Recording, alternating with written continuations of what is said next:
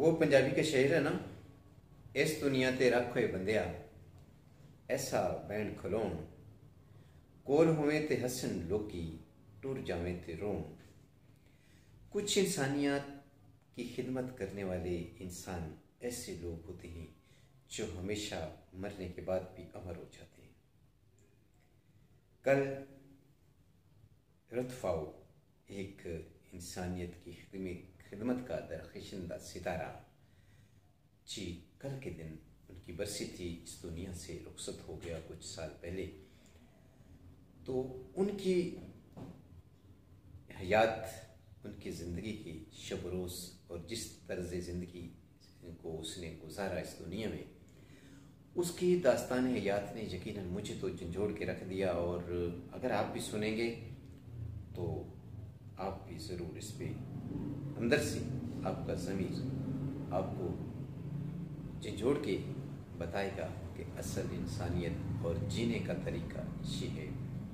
मैं हूँ डॉक्टर हनीफ मलिक, आप देख रहे हैं यूट्यूब चैनल मदावा क्लिनिक। अगर आप चैनल पर नए हैं तो चैनल को सब्सक्राइब कर दीजिएगा, लाइक और शेयर भी कर सकते हैं। अगर आपको अच्छी नहीं लिखती वीडियो तो आप इस बेशक उसको लाइक नहीं करें। मेरी आपसे सिर्फ़ इतनी रिक्वेस्ट है ना तो मुझे आपसे ये कहना है कि लाजमी चैनल को सब्सक्राइब करें लाजमी मेरी बातों को सुने लाजमी जो है लाइक और शेयर करें कुछ भी नहीं करें। वो इसलिए कि अगर आपका दिल मानता है तो करें अदरवाइज़ नहीं करें। आपका बहुत शुक्रिया। असलकुम आपसे सलाम करना भूल गया था। मैंने आपको अब सलाम कर लिया है। अब बात को आ, आगाज़ करते हैं। रदफाओ एक जर्मन राहबा थी। उनतीस साल की उम्र में पाकिस्तान आई और पाकिस्तान में उस वक्त कोढ़ की बीमारी जो थी, आम थी और जिसको कोढ़ लग जाता था उसका चूँकि इलाज नहीं होता था तो उसको एक मखसूस बस्ती में लोग छोड़ आते थे और वहीं मर जाता था। ये कराची में एक कच्ची बस्ती थी, जहाँ पे कोढ़ के मरीज़ों को ज़िंदगी के आखिरी यम तक तड़पते हुए मरता छोड़ आते थे लोग, जिनका ये अज़ीज़ होता था, जिसको ये कोड़ का मर्ज लगता था।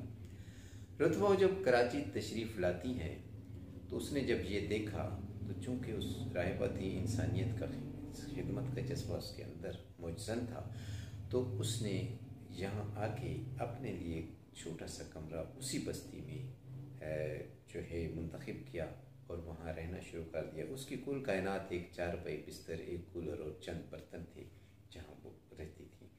और कोड़ के मरीज़ों का इलाज करती थी। कराची में उसने कोड़ के मरीज़ों के इलाज के लिए लिप्रोसी सेंटर कायम किया और फिर ज़िंदगी के पचास साल वहीं गुजार दिए।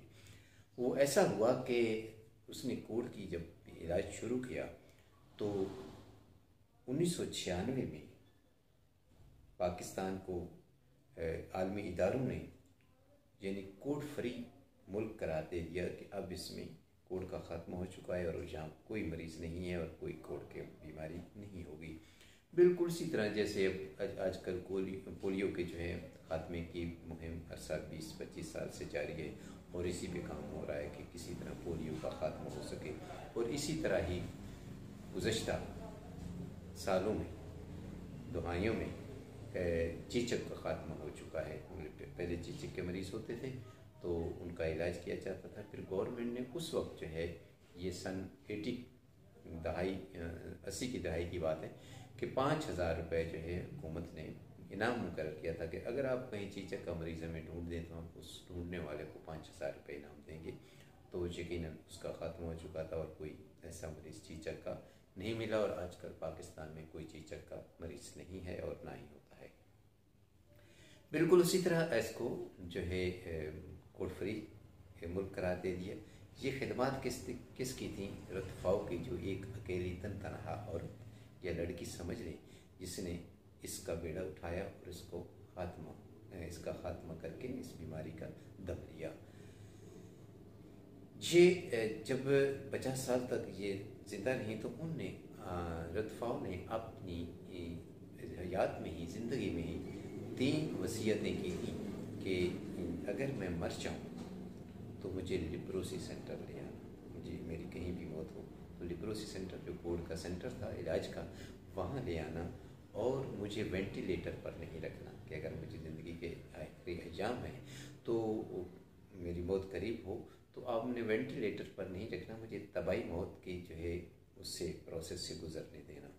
और तीसरी उसकी वसीयत ये थी कि जब मेरी मैयत को गसल दिया जा सके दिया जा चुका हो। जैसा कि हम तो मुसलमान हैं, लेकिन वो तो चूँकि एक ईसाई मज़हब की थी, जो भी उनकी रसूमात थी तो मुझे उरूसी जोड़ा, यानी दुल्हन वाला जोड़ा जो है, वो पहना देना। क्योंकि रायबा लोग जो होती हैं, आप लोग यकीन जानते होंगे कि वो शादी नहीं करती हैं ख़वान और ज़िंदगी के बल्कि जो दुनियावी एक्टिविटीज़ हैं, उनसे किनारा कश रहती हैं। ये उनको राहिबा कहा जाता है, जो सिस्टर्स जो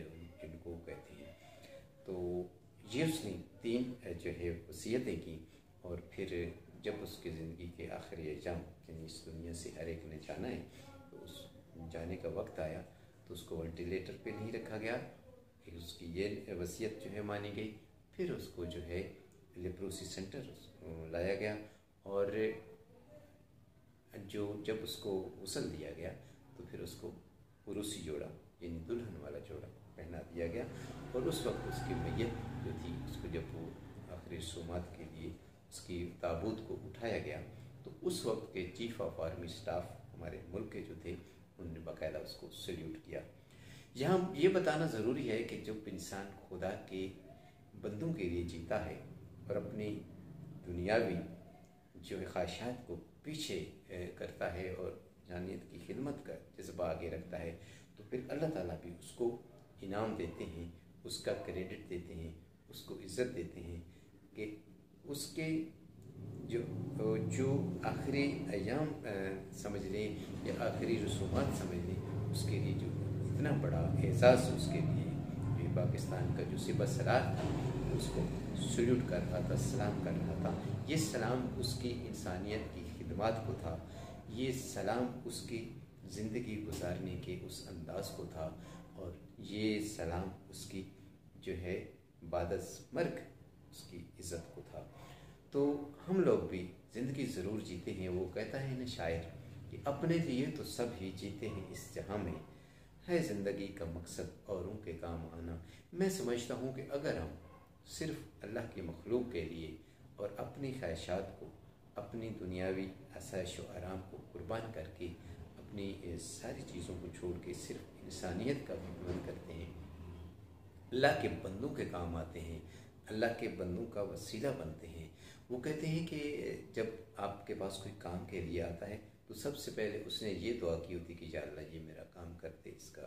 अल्लाह ताला फिर उस शख्स के पास, अल्लाह ताला जो है उस बंदे को भेज देता है कि फ़लाँ शख्स के पास जा, उसके जेन में डालता है, उसके ज़राए बनाता है। वो उसके पास जाता है कि मुझे ये काम है तो फिर वो वो काम अगर कर देता है तो खुदा की जानब से वो भेजा हुआ होता है, इसलिए कोई भी आपसे काम अगर कहता है या मुझसे कहता है तो कर लेना चाहिए कि मुमकिन है खुदा ने भेजा हो और हमारी, मेरी और आपकी आखरत का, भलाई का सोचा हो, नेकी का सोचा हो, क्योंकि नेकी कोई छोटी और बड़ी नहीं होती, नेकी नेकी होती है। बिल्कुल उसी तरह के अगर आपके पास एक लाख रुपए हैं, उनमें से दो रुपए भी कम है पाँच रुपये भी कम है तो पूरे लाख नहीं है उसमें कमी है।